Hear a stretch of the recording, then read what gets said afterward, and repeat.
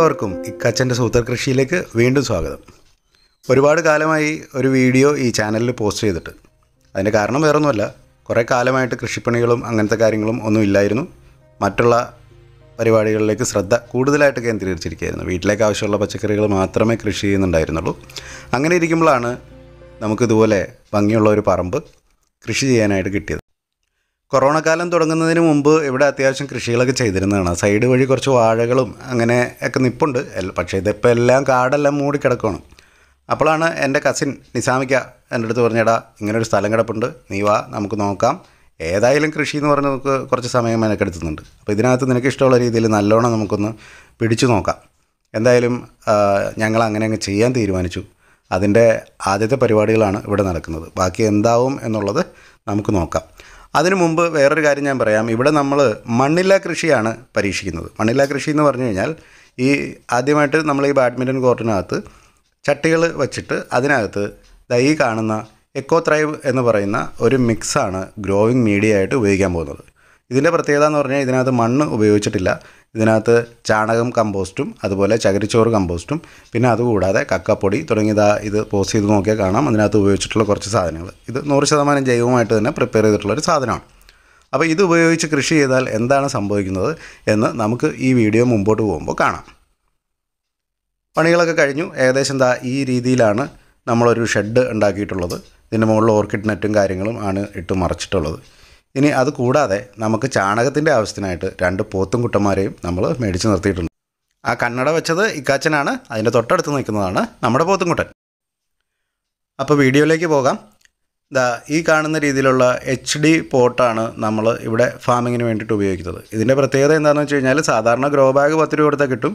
ഇതിന് എൺപത് രൂപ തൊണ്ണൂറ് രൂപ വില വരും. പക്ഷേ ഇത് വീണ്ടും വീണ്ടും ഉപയോഗിക്കാം. ഞാൻ ഇതിന് മുമ്പ് വീട്ടിലൊക്കെ കൃഷി ചെയ്ത സമയത്ത് ഞാൻ നോക്കിയിട്ടുണ്ട്. ഒരു രണ്ട് വർഷമായിട്ടും വെയിലത്തിരുന്നിട്ടും പൊട്ടിപ്പോവുകയോ പിടിക്കുകയൊന്നും ചെയ്യാത്ത പോട്ടാണ്. ഇതിനകത്ത് നമ്മളൊരു പകുതി ഭാഗം വരെ നമ്മളുടെ പോട്ടിംഗ് മിക്സ് നേരെ അങ്ങ് നിറയ്ക്കുകയാണ്. എക്കോ ത്രൈവാണ് നിറച്ചിട്ടുള്ളത്.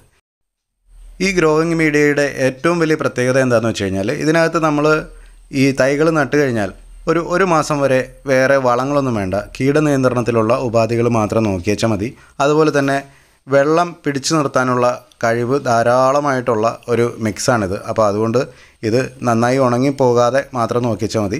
നനവ് നിലനിർത്തുക എന്നുള്ളതാണ്. വെള്ളം ഒഴുകി പോകുന്ന രീതിയിൽ നനയ്ക്കേണ്ട യാതൊരു ആവശ്യവും നമുക്കില്ല. ഇപ്പോൾ ദാ ഈ ചെടികൾ നട്ട് ഒരു ഒരാഴ്ച കഴിഞ്ഞതിന് ശേഷമുള്ള കാഴ്ചകളാണ് നിങ്ങൾ കാണുന്നത്. ഇനി ഇപ്പോൾ നട്ടിട്ട് ഏതാണ്ട് ഒരു മാസം ആയിട്ടുണ്ട്. അപ്പോൾ ആ ഒരു മാസം എത്തിക്കഴിയുമ്പോൾ എന്താണ് സംഭവിക്കുന്നതെന്ന് ഇനി മുമ്പോട്ടുള്ള ഈ വീഡിയോയുടെ പാർട്ടിൽ നിങ്ങൾക്ക് കാണാം.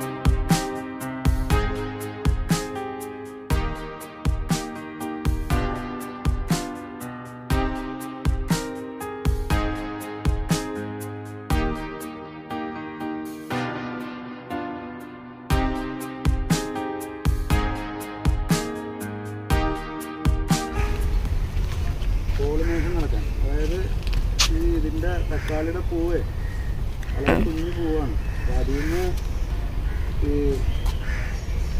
നെക്ടാറൊന്നും എടുക്കാൻ വേണ്ടിയിട്ട് തേനീച്ചയ്ക്ക് അതിലേക്ക് കയറാൻ പറ്റില്ല. അപ്പോൾ തേനീച്ച നെക്ടാർ എടുക്കാൻ വേണ്ടി കയറുമ്പോഴാണ് അതിലത്തെ പോളൻ മിക്സായിട്ട് പോളിനേഷൻ നടന്ന് അത് കായായി മാറണം അപ്പോൾ നമ്മളിങ്ങനെ തട്ടിക്കൊടുക്കുകയോ അല്ലെങ്കിൽ കാറ്റടിക്കുകയൊക്കെ ചെയ്യുമ്പോൾ ഈ പോളൻ അങ്ങോട്ടും ഇങ്ങോട്ടും മിക്സായിട്ട് പോളിനേഷൻ നടക്കും പിന്നെ ഇങ്ങനെ തട്ടുമ്പോൾ എന്ന് വെച്ച് കഴിഞ്ഞാൽ നേരത്തെ നമ്മുടെ ബിജു സെക്രട്ടറി സാർ അവിടെ പറഞ്ഞ പോലെ ഇല്ലാത്ത ആൾപെരുമാറ്റമൊക്കെ ഉണ്ടെന്ന് കാണാൻ എന്ത് ചെയ്യുമ്പോൾ പെസ്റ്റുകളൊന്നും കൂടുതൽ കോളനൈസ് ചെയ്യാൻ ഇതിലേക്ക് വരില്ല. അങ്ങനെ പല പരിപാടിയുണ്ട്. കൃഷികളിൽ ഓക്കെ പഠിക്കണം.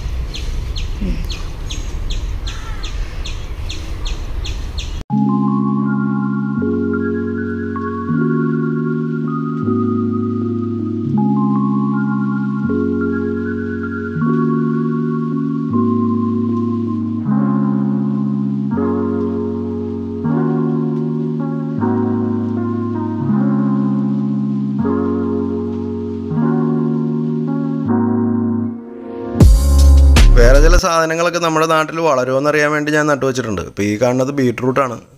അത് ആ വളർന്ന് നിൽക്കുന്നത് ചീരയാണ്. ബീട്രൂട്ടിന്റെ ഇടയിൽ ചീര വളർന്ന് നിൽക്കണതാണ് ആ ഇപ്പോൾ കുറച്ച് ബീട്രൂട്ടൊക്കെ ഇവിടെ കാണാം.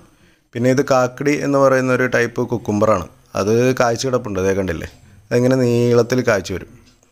പിന്നെ അതുകൂടാതെ നമ്മൾ കുറച്ച് ക്യാപ്സിക്കം നട്ടിട്ടുണ്ട്. ഒരു ചോക്ലേറ്റ് ക്യാപ്സിക്കം എന്ന് പറഞ്ഞ വെറൈറ്റി ആണെന്ന് തോന്നുന്നു. വളർന്നു വരുമ്പോൾ അറിയാം. ഈ തൈകളായിട്ട് മേടിക്കണമല്ലേ പിന്നെ അതിന്റെ അപ്പുറത്തേക്ക് നീങ്ങി കഴിഞ്ഞിട്ടുണ്ടെങ്കിൽ ഇതേ അവിടെ കാണുന്നത് ക്യാരറ്റാണ്. ഇതും ഒരു പത്തിരുപത് ചെറിയ ഗ്രോ ബാഗിൽ ക്യാരറ്റുകളും നമ്മൾ വെച്ച് കൊടുത്തിട്ടുണ്ട്. ഇനിയിപ്പോൾ ഈ പറമ്പ് ഇത് മാത്രമല്ല അതെ അപ്പുറത്തേക്ക് ഇഷ്ടംപോലെ സ്ഥലം കിടപ്പുണ്ട്. ഞാൻ ആ വാഴ നിന്ന സ്ഥലവും കാടൊക്കെ വെട്ടി ഒളിപ്പിച്ച് എടുത്തിട്ടുണ്ട്. നമ്മളിത് കാക്കനാടിന്റെ ഒരു അർബൻ ഫാം ആക്കി നല്ല സുന്ദരമായ ഒരു കൃഷിയിടമാക്കി മാറ്റാനുള്ള പരിപാടിയിലാണ് ഇറങ്ങി തിരിച്ചിട്ടുള്ളത്. സക്സസ്ഫുൾ ആവുമോ എന്നുള്ളത് നമുക്ക് കണ്ടറിയാം. എന്തായാലും ആവണം ആവാതിരിക്കില്ല. കൈ കിട്ടിയ സാധനം എല്ലാം നട്ടിട്ടുണ്ട്. ക്യാബേജ് കോളിഫ്ലവർ വെണ്ട പച്ചമുളക് കുറേ അധികം നട്ടു വെച്ചിട്ടുണ്ട്.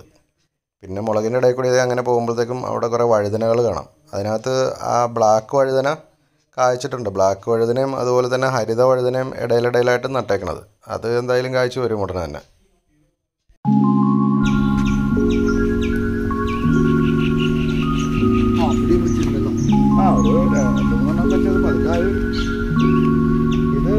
എന്താണെന്ന് വെച്ച് കഴിഞ്ഞാൽ നമ്മളിതിൽ യൂസ് ചെയ്ത് ഇത് പ്രത്യേക കാര്യം എന്ന് വെച്ച് കഴിഞ്ഞാൽ സോയിൽ ലെസ് ഫാമിംഗ് ആണ്. ഇതിനകത്ത് മണ്ണ് എന്ന് പറയുന്ന സാധനം ഉപയോഗിച്ചിട്ടില്ല.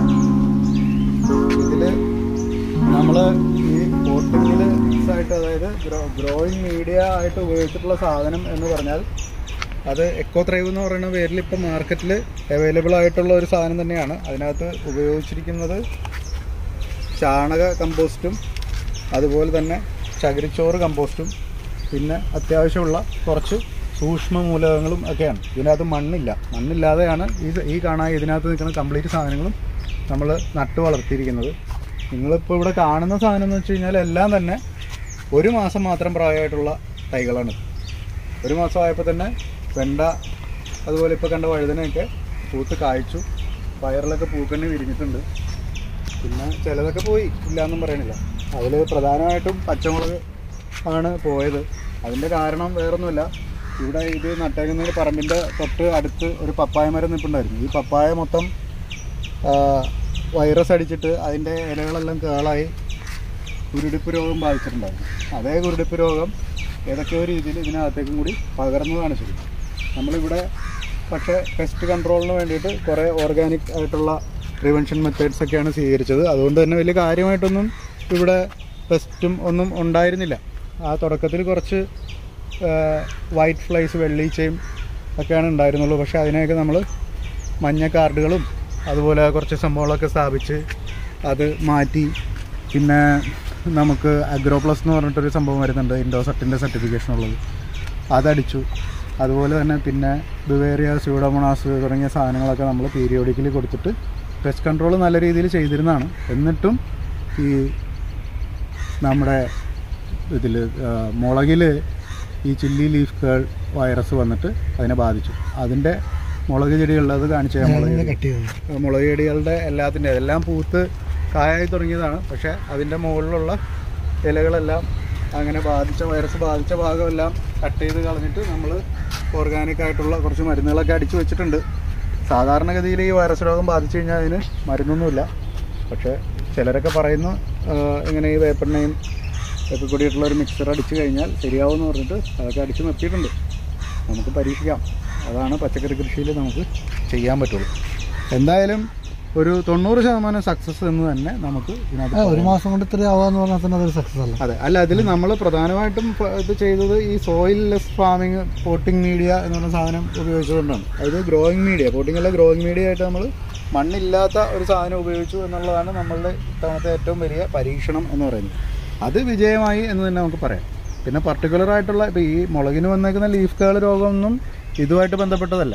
ഇതിന്റെ ഒരു അഡ്വാന്റേജ് എന്ന് പറയാനുള്ളത് ഇപ്പോൾ ആ തക്കാളികൾ നിൽക്കണ്ടില്ല ഒരു അമ്പത് തക്കാളി ചെടികൾ പൂത്ത് കായ്ക്കാൻ തയ്യാറായിട്ട് നിൽപ്പുണ്ട്. സാധാരണഗതിയിൽ ഇതിന് ഒരു ബാക്ടീരിയൽ വിൽറ്റ് എന്ന് പറയുന്ന അസുഖം വരണ്ട സമയം കഴിഞ്ഞ് നമ്മുടെ ഇവിടുത്തെ മണ്ണിൽ വെക്കുകയാണെന്നുണ്ടെങ്കിൽ. അത് ഈ വഴുതനയിലും വരാം മുളകിലും വരാം അതുപോലെ തന്നെ തക്കാളിയിലും വരാം. ഈ മൂന്നെണ്ണത്തിലും ഇന്നേ വരെ ഇതുവരെ ഈ ഒരു മാസം കൊണ്ട് ഇതുവരെ ബാക്ടീരിയൽ വിൽറ്റിന്റെ യാതൊരു ലക്ഷണവും കാണിച്ചിട്ടില്ല എന്നുള്ളതാണ് ഇതിന്റെ ഏറ്റവും ഒരു പ്രധാനപ്പെട്ട അഡ്വാന്റേജ് ആയിട്ട് ഞാൻ മനസ്സിലാക്കുന്നത്.